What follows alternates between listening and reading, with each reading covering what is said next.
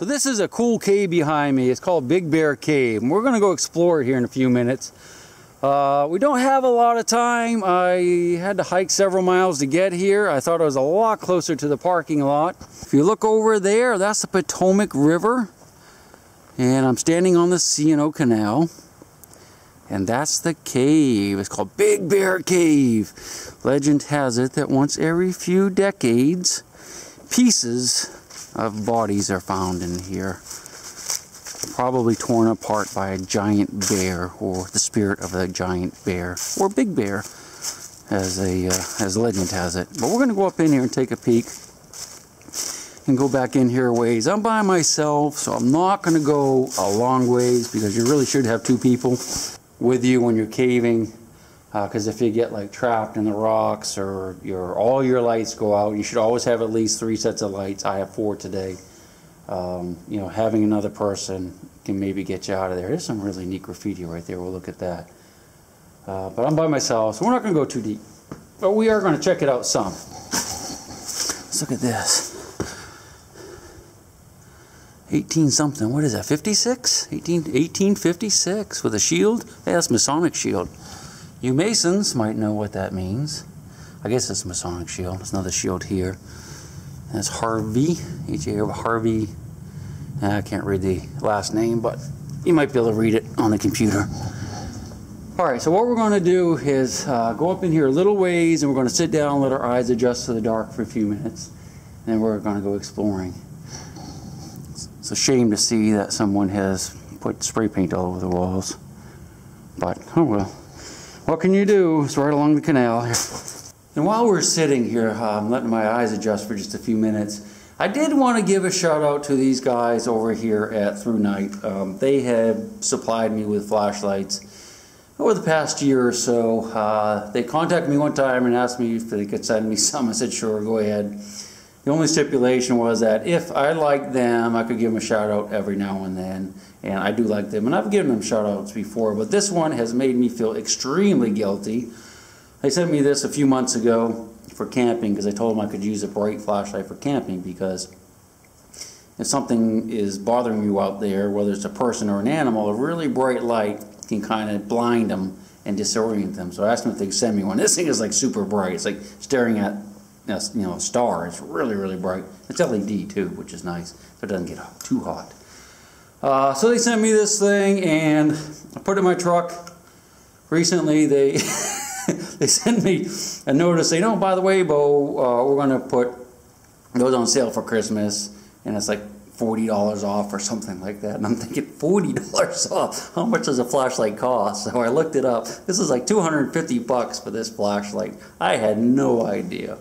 So they sent me a $250 flashlight that I basically just pitched in my truck and told them I'd, you know, try to work it into a video at some point. And I do feel guilty about that, and I apologize for that. And I'm going to put their links to uh, their website where you can buy them for 20% off at 250 or whatever they are.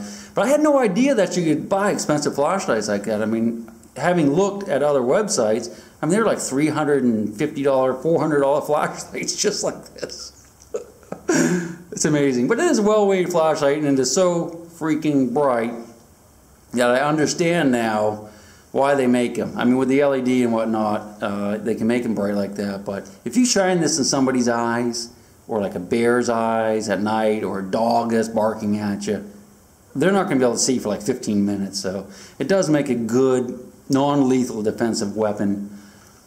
You know, in that regard, I mean, it's just incredibly bright. I mean, I blinded myself just looking. You can't look at it. If you look at it, forget it. I mean, even when just using it, it's kind of bright. So. I'm going to show you what it looks like back in here.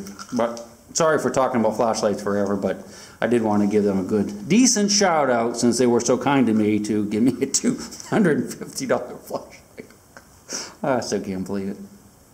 All right, you ready? See, just like my eye, my eyes have adjusted and I actually see back in there. And uh, let me go ahead and put, throw my headlamp on and we'll use a small light mostly and the big light as needed. All right, so what we're going to do is we're just going to kind of, this is bad, um, take our time, walk back in here a little ways.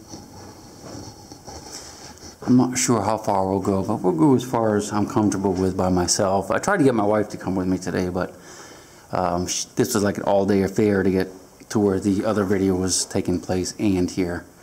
So she didn't come. Ah, that's pretty cool, isn't it? Look at that. Look for bats, okay? Because the bats love to hibernate in these caves. You see there's some water dripping from the ceiling and it's making little baby stalactites. See right there, look. And they can grow down, down, down over the centuries and get many, many feet or yards long. Ah, oh, looks like, I'm to say gold, but really looks like urine. Look at that. I'll take his headlight off so I can hold it at a different angle. Maybe you can see it better. Kind of glowing like it's, um, well, it's like amber, doesn't it? Hope that's not like bat urine up there. Can you see it glowing orange? It's a really weird color. I've never really noticed that before. And you can see where water does flow out, but it's dry now.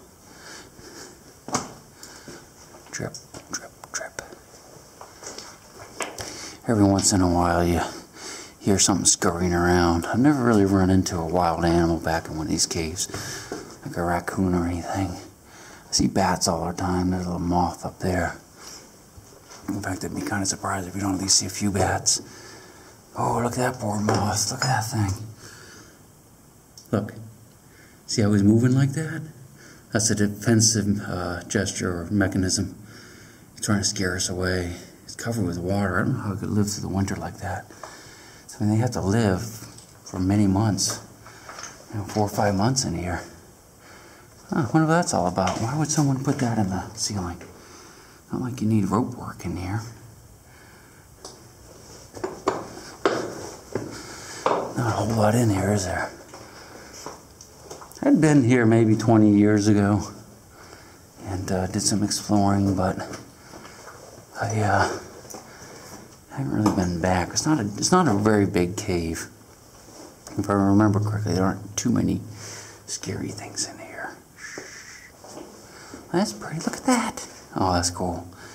I like that. New formations up there. A little bit. That's a neat little shelf. Keep your eyes open. This might be a geocache in here. We have found them in caves before, haven't we?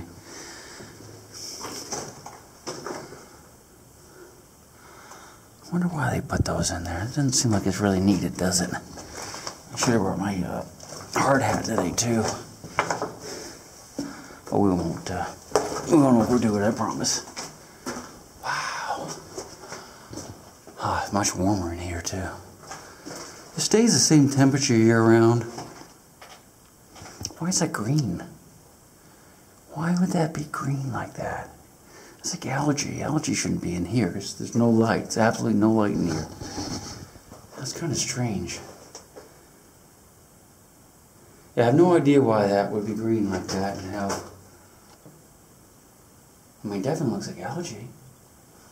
Well, maybe just some, maybe it's something. Must got to be something in the rock, some type of chemical.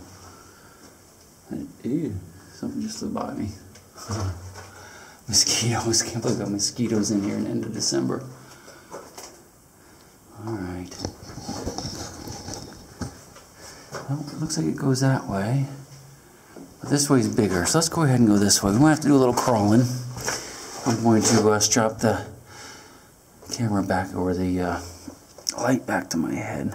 Looks like, is that a bayonet? Looks like a bayonet. I don't see any graffiti back in here. Okay, I'm gonna put the light on. Hold on a second. Got our hands free, at least one hand free. Oh, that's pretty. Look at that.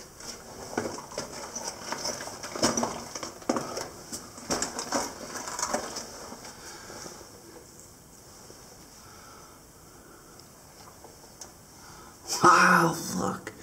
That's gorgeous. Sparkling. Probably one of those deals where you really have to be here to see it.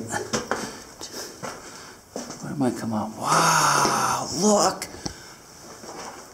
That is so cool. I've never seen that before. Those are dro uh, droplets of water that have. Look, look at it. Oh, wow. Droplets of water with the light shining. For some reason, there's a green tinge to them. It's almost gold. Look at it. That is neat. I know that's not like amazingly amazing probably to you guys, but it is to me. I just, I really appreciate stuff like that. Look at it. Look at it. That's so neat. Sound like a little girl. Sorry, little girls. Kind of interesting how people do that with their voices and they don't even know they're doing it. And since I'm a people, I do it too. Look for geocaches. Oh, that's pretty. Look at that. Look how smooth that is. Looks like mud, but it's actually a calcium deposit, so it's pretty hard. Let's go underneath this rock, see if there's a geocache. If I was to hide geocache, this is where I'd put it, right here. Nope. There's mud there and no bottle. We'll take that bottle out. Got water in it. Huh. Okay, well, let's go this way. Put that right there. We'll pick that up on the way back through. I don't have to carry it. What do you see? There's a broken bottle down in there. I'm not going to go get it though. I can see what the stream flows through. I don't know if we get through there or not. Let's blast that with a big flashlight.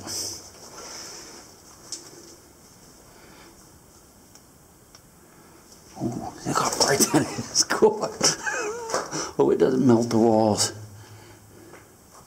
It keeps going, but I'm not going to crawl through that since I'm by myself. In case I got wedged in there, and if you want to read a story about getting wedged in the rocks, an old time story.